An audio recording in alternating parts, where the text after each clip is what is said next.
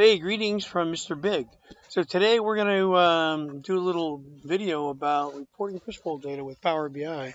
So the fun thing about this is, um, you know, Fishbowl of course talks to QuickBooks, but um, there's also an ODBC driver for it. A little bit later we'll actually install it. But if you use that ODBC driver, then you can actually uh, fire up Power BI and uh, the designer and um, do some cool stuff. So let's install the driver.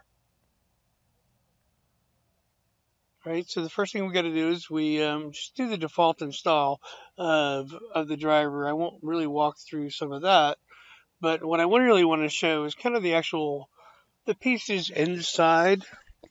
You know, once you actually hit the uh, default installer and get all the pieces in. So it really doesn't matter what you call the data source name. You can call it anything you want.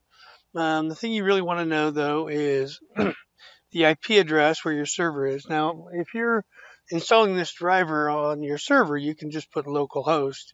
Um, in this example here, um, going out and doing it to uh, a machine, um, uh, installing the driver, pointing to another machine, right? So with the port 3305, the user, of course, is gone, and the password is fishing. So gone fishing, super complex, right?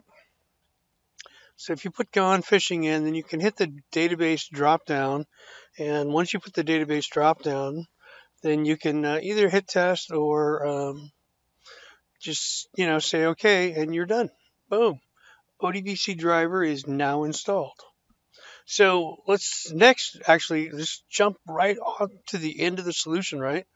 This is Power BI using fishbowl data. So what we've done here in the system is we've actually gone through, created a little data model just talking about parts and um, push that up to the Power BI cloud, right? We're in the Power BI cloud here. So in this case, right, we're just walking through different descriptions, erasing it, just to show kind of the interactivity of the Power BI platform. It's just like a super interactive environment and I think that's one of the most uh, important parts. So besides Fishbowl, right, you can actually pull in financial information. This is an example of uh, an HOA's financial information up in Power BI. Um, you know, so really, you know, to me, one of the things that I talk a lot about is it's the single spot for all of your um, reporting needs. And I think that's one of the things that's really cool about it. So again, one last little peek at the fishbowl stuff. Um, and uh, so here's my contact information.